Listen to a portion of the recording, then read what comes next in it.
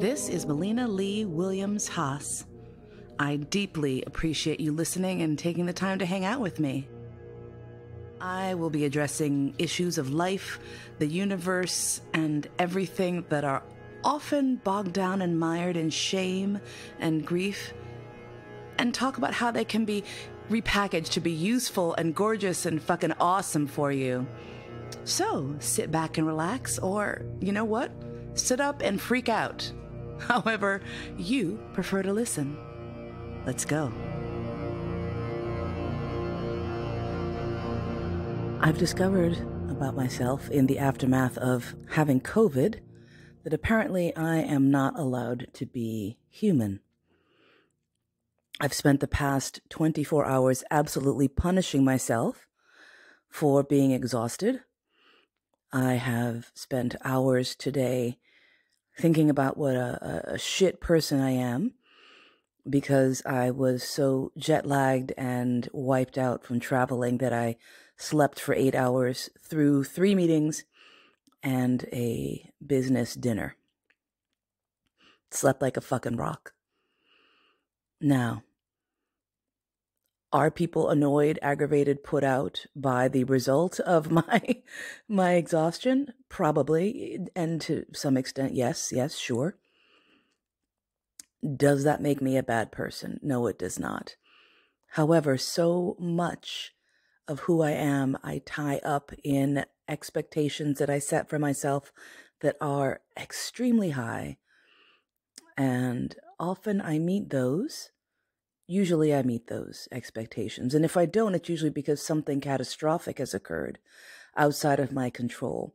Now, technically, I suppose I could have set an alarm if I'd had my wits about me to do so. But in my fucking brain addled state, I was just like, you know what? I'll get up. There's no way I'm going to sleep through all this stuff. I just need a couple of hours to catch up because I didn't sleep on the plane, but for maybe an hour and 45 minutes, I think, according to my watch. But what's super interesting to me is the amount of abuse that I will heap upon myself anytime I, I fail to live up to my expectations or anytime I feel that I have disappointed someone or put someone else out. And I guess there's tons of reasons for that, but I find it extremely fascinating that I cut each and every person around me all sorts of slack because I understand life is tough sometimes and dealing with COVID can be really complicated and there's so many unknowns. And while I do feel so much better, I still get tired very easily and it's really hard to think. Remembering stuff is difficult. Well, put it in your calendar, you say. Yeah, that's great. But you need to actually remember to look at your calendar and when you just feel like you're just pushing and pushing and pushing through, maybe you don't. Why is it so hard for me to forgive myself? Why is it that I enable everyone else around me to feel good about themselves and work so hard to try to be the person that is understanding and forgiving and flexible and easy? And then I turn around and I'm an absolute tyrannical bitch to myself. I don't have a good answer for that. I really don't. And it's kind of fucking depressing because usually I can figure stuff out about myself and I can say, well, here's why this is going on. And mm, I feel that that's coming from, you know, childhood shit or adolescent shit or, or fucked up relationship shit. But the reality is, I honestly cannot think of anyone in my life who has been directly as oppressive against me as a human being as I have been over the years. Sure, I've had a couple of relationships that were not optimal in terms of how people treated me. But the thing is that, like, once people started treating me shittily, I pretty much evacuated. But I can't get out of my own head in this way. I can't let go of the internal emotional perfectionism to which I have subjected myself for lo these 53 years. Because to be honest, I cannot remember a time where I was not putting incredible amounts of pressure on myself. From childhood, from when I was a little tiny fucking kid, and felt like when my parents were fighting or when my dad was giving one of his four hour lectures on Sunday about how we were very poor Christians, I always felt like, I always felt like I could save the world. I always felt like if I could just do the right things, everything would be okay. And that's a first child syndrome, certainly. And coming from a household where both of my parents had their own issues to struggle with. And they were really young. Let's not forget that. My mom was 21 when I was born, right? Like, I look, think about myself at 21 and having the responsibility of an entire human, what the hell? And then also realizing that the person who's the father of this entire human that you just pushed out is probably a little not right in the head. As it turned out, then she's got a kid and married to someone who's definitely got PTSD and is almost probably bipolar. You know, there's a lot going on. We all have a lot going on. And I want to talk to myself today. I want to just see what the fuck is going on with me.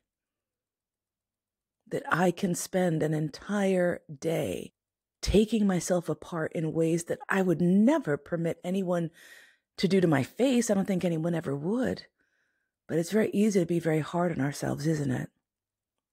I consider myself to be someone who is an excellent communicator. Yeah, someone who really knows how to get their point across, someone who listens well. And despite all of that, I recently had a pretty serious communication breakdown that resulted in some work that I had been doing with some other folks completely having to be dismantled and canceled. And that's all right. Shit happens. But the hard part of it is the part that really is making me beat myself up super badly is why did this happen in the first place? Why didn't my amazing communication skills make it so that this mistake didn't go down, didn't happen? But you know what? We all have moments where things just don't work out. And that's all right.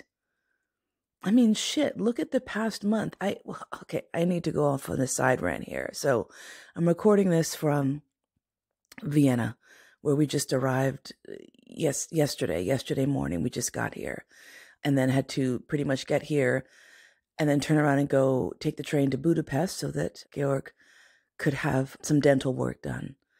Because getting dental work done in America is so expensive, no shit, that we kind of hobble together until we can know that we can be here in Europe where it's easy and inexpensive, right? Like just over the counter dental work shit. You can get a root canal and a crown done for maybe like 300 bucks. just try to get anything more than a filling for that amount in in New York, right? So we're taking care and doing all of these things. And what I find really amazing is my ability to shuffle off all the shit I did. Okay, look, I had COVID and I was positive and pretty ill for a good 10 days straight. And in the midst of that, I had to prepare for a three month, three week trip to Europe, get all of my things together, get Georg's things together, and then fight with two insurance companies and a university to make sure that we could get all of our medications for this trip. When I tell you that this process was frustrating and, and maddening, that can't even really encompass the seriousness because during the pandemic, pandemic, pandemic, yeah, during the pandemic, United Healthcare decided that this was a great time to stop the ability for you to obtain medicine for three months at a time through their online pharmacy. They just cut all that out in addition to that, they made it so that not only do you have to go through your insurance and then go through the Optum RX, which is the insurance company that handles your medication, which is separate from your regular insurance and also separate from your eye insurance and separate from your dental insurance, right? So you're working essentially with like four different companies. Try telling that to someone whose head has been punched in the fucking back of the skull with COVID, right? So I go through the insurance company. they're telling me, well, you have to get an approval through Columbia. So I call Columbia. The HR department's like, okay, yes, send us a list of all of your medications and what countries you're going to. And you have to fill out this whole online form. And I'm like, wait a second. Why do I have to tell some random person in the HR department of Columbia University what my medications are? This seems like a HIPAA violation of some sort. What the fucking, who am I going to fight though? I need those medicines. I would like to not drop dead from hypertension or diabetes. So I do what has to be done and I fucking uh, get the goddamn stuff, right? Mail this off. And they're like, great. So now I have to wait for United Healthcare to approve this. Then I have to call my pharmacy so that they can put through the request so that it can be denied. And then once it's denied, I have to go through Optum RX to get them to approve it, go back and have the approval rubber stamped by Columbia and then approved again, I think, through United Healthcare. I'm not sure. But every time I called any one of these places, I kept being told that nothing had been forwarded, nothing was being done. And I'm like, well, who was doing something? Because I filled out this form and I'm trying to get this through. And I was reassured that everything was working. But then when I double checked it, nothing was, bro, it was in fucking sane. I then decided, well, worst case scenario, worst case scenario. I can go through my doctor's office, get copies of all these prescriptions, and then get the prescriptions filled in Europe. We would have to come out of pocket, but even so, it's a fraction of the price of the drugs in America. Even the most expensive drug that I take, which is maybe $500 for one of my diabetes medications, an injection pin, cost me $60 in the Czech Republic when I had to get it. So is that the optimal scenario? No, it's not. But could it work? Yes. So I called my doctor's office made online appointment so that I could try to get this prescription filled, sat on the phone waiting for the doctor to come on. No one showed up and I called back and they're like, we're so sorry. How about in another hour? Great. Four different times I was stood up for these online appointments. I sent messages through the patient portal to my doctor, never got a response. All I wanted was copies of these prescriptions, and I finally got through to one of the aides there who I was trying to explain. I said, look, here's the situation. Going to be traveling, need drugs, can't get them, need a prescription just in case I can't. And he's like, okay, well, I can print out a copy of your medical records and a list of all the drugs you're taking. I'm like, no, no, no. I need an actual prescription. I need the physical prescription so that I can go in somewhere and show it to them. And he's like, okay, what exactly do you mean by that? And I'm just gobsmacked. I'm like, is it, have we gotten to the point where no one writes an actual physical prescription anymore to the point where someone doesn't know what a written prescription is? I bit my tongue and I calmly explained what a written prescription is to a person who works for a doctor's office. He attempted to print them out and then told me he was having some sort of trouble and could he call me back? Sure after that, I didn't hear back. It was getting close to closing time. I finally messaged him and said, uh, Hey, um, not trying to be a pain, but I'm leaving in three days and I, I really need this stuff. And he asked me to call him back tomorrow. Well, Thankfully, between that incredibly frustrating conversation and the next day, I did get word back that allegedly our prescriptions had been finally approved. This was on a Friday afternoon. So that meant I would have to wait until Monday, and we're leaving on Tuesday. The stress was not pleasant. But I got it together, got everything pulled through, and obtained our medications for the three and three quarters months that we will be traveling. And I just sort of brushed that all by like this was some easy thing to do, like I didn't matter. Like it was a lot. I'd like to give myself a gold star for accomplishing that calmly. The next thing I was beating myself up over was that for my attempts at starting this new consulting company, my kink doula business, that I hadn't changed my calendar. So I had several people who were calling for consultations in the middle of the night or while I was on a plane or because that was something that slipped through the cracks. And of course, my assumption is that everyone thinks that I'm some sort of loser and an asshole and irresponsible. Which, you know what? Even if they did, fuck them. it's so funny how I veer between this incredibly defensive stance of feeling like people should cut me some slack and then also feeling like no one should ever cut me some slack. I am a piece of work. But I know that many of you can probably relate to this. I know I'm not the only one who sets incredible expectations for themselves and and then feels incredibly let down when we do not cross every T and dot every I and tie everything up neatly at the end of the day with a perfect bow. But no one and nothing is perfect. Inasmuch as I would like to believe that I have power over space and time and can do all things, I can't. I wish I could love myself a little bit better. I wish I could stop this internal assault, this war. And it's difficult. And then to top it off, you know what's even more rich is it like when I am beating myself up, I beat myself up for beating myself up. Like, like I'm hashing myself to death because I'm not compassionate with myself. Like, what the hell? It's so ridiculous. It's so crazy. And I'm glad I'm actually saying it out loud because when I say it out loud, I realize how silly it is. And I realize that if anyone, any one of my friends, an acquaintance, a fucking ball, fucking ball headed stranger rolled up to me and voiced these opinions about themselves, I would be like, whoa, hey, hold on, man. That's awful harsh. It seems a little bit much, don't you think? And yet I let that toxicity ooze all over my soul from the inside. I am the source of that. I am my worst enemy. What I have achieved in my lifetime is kind of amazing, and yet I overlook it. The people I have in my corner, the folks who support me, the people who love me, are some of the most remarkable human beings I have ever had the pleasure to know.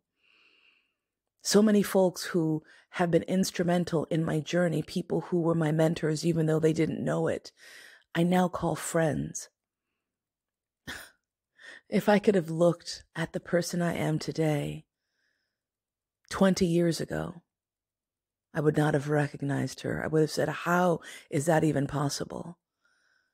Those were not dreams that I held in my heart because they were not dreams that could have ever occurred to me. And yet, and yet, I so easily fall back into this cycle of self abuse and emotional self harm. And I need to pull away from that. And I need to cut myself a break. And I'm just going to sit here for a while and consider how I can be kinder to myself. And I'm going to start by winding up this episode, even though it's not 30 minutes. That's all right, too. I've said what I had to say to myself, and maybe you can just join me for a minute of just breathing and quiet reflection. And if you have not been absolutely, perfectly, wonderfully kind to yourself, maybe sit with me for a bit and think about how amazing you are. Think about the miracle that is your body being alive here, now, today. Maybe the body that you're in is experiencing difficulty. Maybe the body that you're in struggles. And that's still beautiful. Maybe the brain that you have has chemistry that makes some aspects of your life really hard. And that's still beautiful. I want to just hold you for this moment and say, you know what? You're fucking awesome. The parts of you that are dark, the parts of you that are weighty, the parts of you that you don't really like, even those parts are gorgeous in their misshapen lumpiness, in their spikiness. Wouldn't it be great if we could just look at all facets of ourselves, at all the things that we do, and love them and appreciate them, and be grateful for the mistakes? Before I got sober, I did not anticipate that I would live to see 40. Today, I'm, oh gosh, I'll be 54 next month. That's a miracle. It's a fucking miracle. So the fuck what? I slept through some appointments. I needed that sleep, obviously.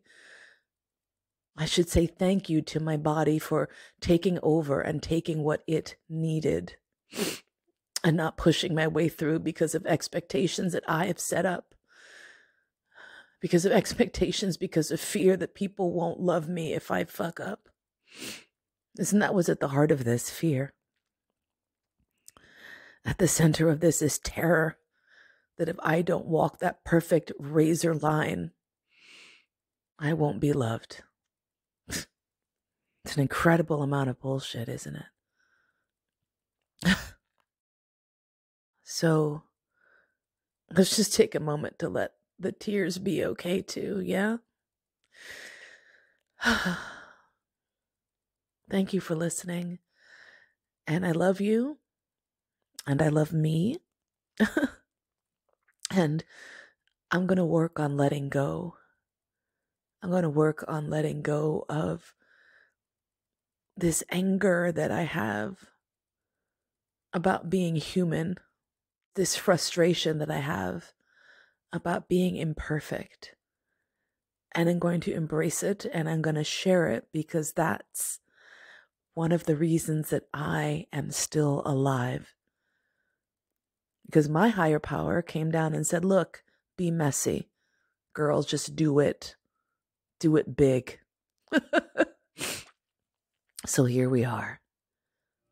And I love you, and I'm here. You've been listening to All That and Mo. Thanks so much for spending your precious, precious time with me today. My podcast is produced by Cody Crabb, theme music by Georg Friedrich Haas, as performed by Marcus Weiss.